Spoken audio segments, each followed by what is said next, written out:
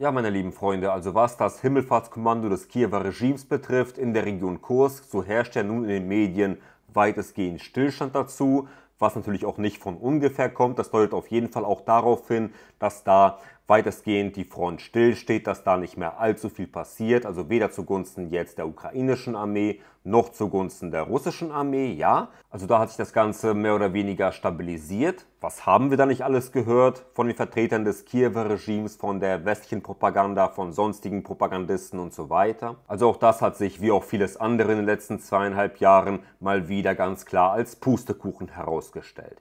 Was alle anderen Frontabschnitte betrifft oder die meisten anderen Frontabschnitte, so entwickeln sich dort die Geschehnisse ohne Zweifel zugunsten Russlands. Vor allem natürlich am Frontabschnitt in der Region Donetsk in Richtung der Stadt Pokrovsk, wo ja die Russen einen massiven Vorstoß gerade am Fahren sind in Richtung Osten, massiv aufs Tempo drücken. Ich glaube, das Tempo, in dem sich jetzt die russischen Streitkräfte voranbewegen, das gab es sicherlich seit Beginn der speziellen Militäroperation so nicht. Also wirklich, sie nehmen dort eine Siedlung, eine Ortschaft, ein Dorf nach dem anderen unter ihre Kontrolle. Und wenn wir uns jetzt hier mal die Karte anschauen, will ich auch ganz klar darauf hinweisen, dass das Tempo, in dem sich die russische Armee jetzt gerade fortbewegt, eben gerade so schnell ist, dass das Institute for the Study of War, die Amerikaner, von denen ich die Karte auch hier immer wieder nehme, dass die auch gar nicht hinterherkommen, die Karte rechtzeitig zu aktualisieren. Also wie gesagt, der Vorstoß der russischen Armee in Richtung der Stadt Pokrovsk, Richtung Osten, ist ja wirklich massiv.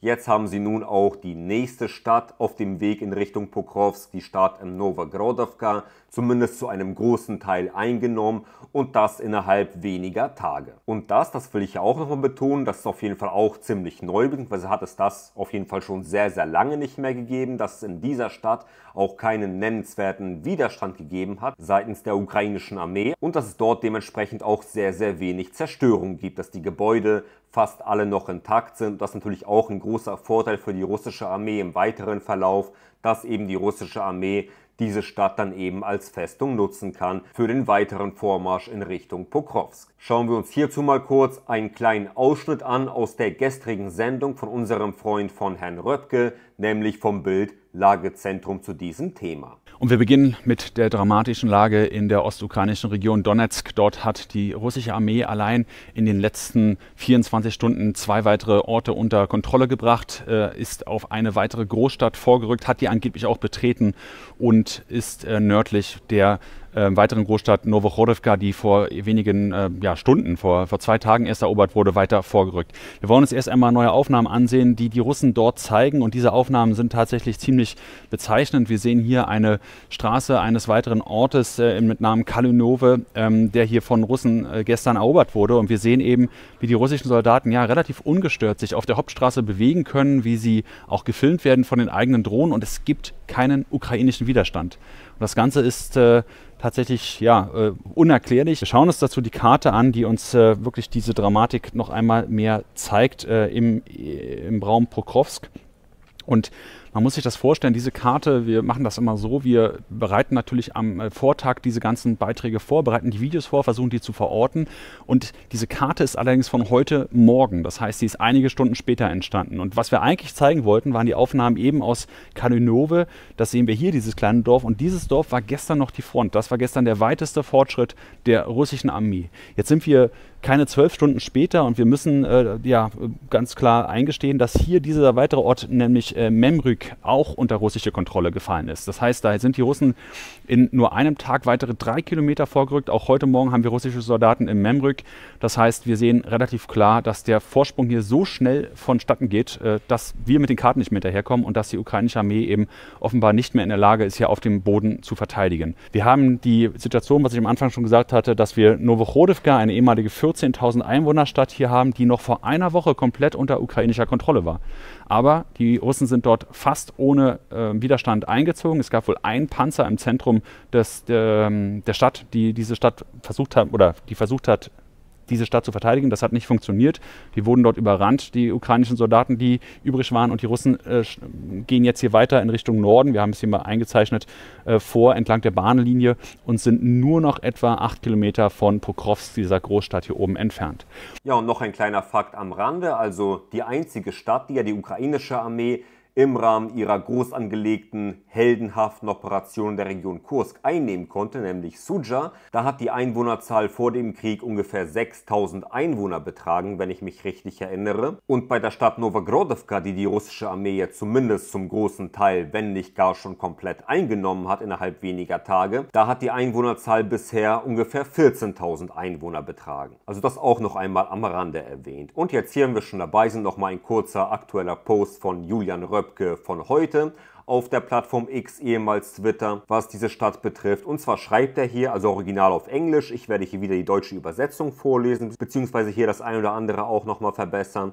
Und zwar schreibt er hier, die russische Invasionsarmee eroberte Memrik und rückte nordwestlich von Novogrodovka vor. Novogrodovka, wie gesagt, das ist diese Stadt mit ehemals 14.000 Einwohnern. Der tägliche Vormarsch östlich von Pokrovsk beträgt nun bis zu drei Kilometer, ohne dass vor Ort irgendwelche ukrainischen Soldaten ihnen den Weg am Boden versperren. Ja, und an diesem Frontabschnitt drücken ja die russischen Streitkräfte nicht nur in die Tiefe vor, also Richtung Osten auf die Stadt Pokrovsk, sondern auch in die Breite, unter anderem auch in Richtung Süden, wo sie ebenfalls ein Dorf nach dem anderen einnehmen. Und nun beginnen sie jetzt auch seit gestern Nacht den Sturm der nächsten wichtigen Stadt, nämlich Selidovo. Auch dazu einmal ein kurzer Post von unserem Freund, dem Herrn Röpke. Auch hier wieder die deutsche Übersetzung. Was östlich von Pokrovsk passiert, sieht nach einem groß angelegten Rückzug der verbleibenden ukrainischen Streitkräfte aus. Die Russen sind bereits im Einsatz, gut, das ist jetzt falsch übersetzt, die Russen befinden sich bereits in Selidovo, das ist die nächste Stadt, und haben Berichten zufolge das Zentrum der 23.000 Einwohner zählenden Stadt erreicht. Die russische Vormarschgeschwindigkeit und die ukrainischen Beschwerden, also dass sich die Ukrainer eben beschweren, nicht irgendwie Beschwerden in Form von Krankheit, deuten darauf hin, dass es in der Gegend keine nennenswerte Verteidigung gibt. Ja, eine sehr, sehr bittere Bilanz. Und wir haben weitere dramatische Berichte von heute Morgen, sowohl von ukrainischer als auch von russischer Seite, nämlich dass Seledjove, eine weitere Stadt hier mit 23.000 Einwohnern, dass die heute Morgen mittlerweile erreicht wurde. Das heißt, hier haben wir noch eine relativ konservative Karte, die eben die Russen in einem äh, Vorort von Solodjove zeigen. Allerdings gibt es die, ja, schon, man muss schon sagen, fast bestätigten, noch nicht visuell bestätigten, aber von ukrainischen äh, Aktivisten und Soldaten bestätigten äh, russischen Berichte, dass auch Solodjove heute Morgen betreten wurde von der russischen Armee und dass man dort mehrere hundert Meter innerhalb der Stadt vorgerückt ist. Mit anderen Worten, das Ganze eine wirklich dramatische Situation, die man sich kaum erklären kann. Jede Woche schreitet die russische Armee hier ja, bis zu 5, 6, 7 Kilometer voran, nimmt pro Woche ähm, um die 10 Siedlungen ein auf ukrainischer Seite, inklusive Kleinstädte und wahrscheinlich auch bald größere Städte, wenn es so weitergeht wie in den letzten Stunden. Und das Ganze ist schon eine sehr, sehr eigenartige Situation, die sich einfach niemand richtig erklären kann. Ja, und dass die Russen eben nicht nur direkt nach Osten in die Tiefe vorrücken auf die Stadt Pokrovsk, sondern eben auch in Richtung Süden, macht die Situation für die ukrainische Armee besonders gefährlich, weil die Russen eben auf diese Weise in die Flanke und in den Rücken der gesamten südöstlichen ukrainischen Gruppierung vorstoßen. Also faktisch in den Rücken der Gruppierung von Ugledar bis hoch nach Marinka bzw. Krasnogorowka, wo es ja auch so schon nicht allzu gut aussieht für die ukrainische Armee in dieser Region. Und ich muss auch sagen, dass dieser Frontabschnitt auch sehr, sehr wichtig ist, weil wenn die russischen Streitkräfte es nämlich dort schaffen vorzurücken, und momentan tun sie das auch auf jeden Fall, dann erweitern sie damit auf diese Weise auch den Landkorridor vom russischen Kernland bis auf die Krim. Und auf der anderen Seite hat das Kiewer Regime natürlich ein Interesse daran, diesen Korridor schmaler zu machen, um auf diese Weise dann besser unter anderem die Krim attackieren zu können. Aber wie gesagt, auch hier entwickelt sich das auf jeden Fall zugunsten Russlands. Und da macht ja jetzt die russische Armee den ukrainischen Streitkräften ja massiv Feuer und das von zwei Seiten. Einmal von vorne quasi aus der südöstlichen Richtung und einmal aus der nördlichen Richtung. Eben was ich gerade beschrieben habe, dass eben jetzt die Russen auch über die Stoßrichtung Pokrovsk Richtung Süden vorstoßen in den Rücken dieser ukrainischen Militärgruppierung. Und inzwischen, das bestätigen jetzt sogar auch beide Konfliktparteien, hat die russische Armee jetzt auch die nächste strategisch wichtige Ortschaft, nämlich Konstantinowka, eingenommen. Wir schauen weiter in andere Regionen äh, von Donetsk, etwas weiter im Süden und haben auch dort die Situation, dass die russische Armee hier äh, relativ schnell äh, vordringt. Wir haben Aufnahmen hier von einem Checkpoint, also von einem Kontrollposten auf einer wichtigen Autobahn zwischen Wuledar und äh, Kost, äh. Und dieser Checkpoint ist jetzt mittlerweile auch hier unter russischer Kontrolle, wie man hier sieht. Äh, wir sehen jetzt, wenn rausgezoomt wird, das ist eine sehr wichtige Kreuzung eben. Ähm, das, das, was wir hier sehen, ist die von Süden, hier links nach Norden, rechts gehende Hauptstraße, die über Monate ein wichtiger Versorgungsweg war für die ukrainische Armee. Ich mache das mal auf Rot, dann sieht man das besser. Wir haben hier eine weitere kleine Straße, die nach Vodjana abführt. Und wir haben hier daneben auch die Schienen. Auch die gehen von Osten nach Westen und all diese wichtigen Verkehrswege, äh, auch wenn hier zerstört, sind jetzt mittlerweile unter russischer Kontrolle. Auch das wollen wir uns auf der Karte ansehen und wir befinden uns ja hier in der Region Kurachowe ähm, im ähm, Südosten des Landes.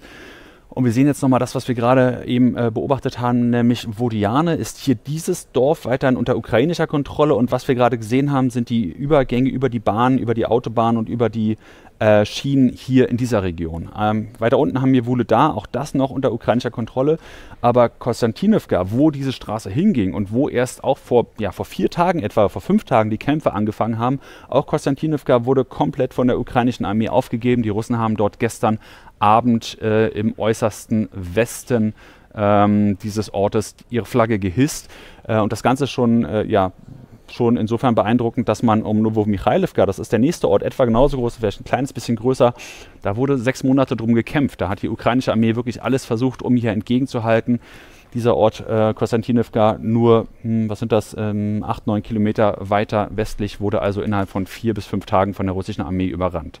Das Ganze sehr, sehr schlechte Nachrichten für die Ukraine. Ja, also eine wirklich dramatische Lage für das Kiewer Regime. Aber auch in den anderen Frontabschnitten sieht es für die ukrainische Armee nicht weniger gut aus, insbesondere am Frontabschnitt Toretsk, also dieser Städtegürtel, wo die russische Armee sich jetzt schon in der größten Stadt davon befindet, nämlich in Toretsk und auch immer weiter im Stadtgebiet vorrückt dann natürlich auch Chasov Jar westlich von Bachmut und auch der Frontabschnitt im Nordosten aus ukrainischer Sicht bei Kupiansk, wo die Russen ebenfalls Stück für Stück immer weiter Richtung Westen vorrücken. Also für das Kiewer Regime sieht es ja wirklich sehr, sehr schlecht aus. Alles kracht gerade komplett zusammen, insbesondere am Frontabschnitt Pokrovsk. Also wirklich eine massive Katastrophe auf die sie sich gerade in vollem Tempo zubewegen, genauso schnell wie die russische Armee sich auf Pokrovsk zubewegt. Und auch hier nochmal ein kurzer Post von unserem Freund, dem Herrn Röpke, der die Situation sehr gut beschreibt. Seine nicht ohne Grund sehr, sehr depressive Stimmung. Drei Wochen nach Beginn der ukrainischen Kurskoffensive sind wir wieder dort, wo wir am 5. August waren. Entweder die Front steht still oder Russland rückt vor.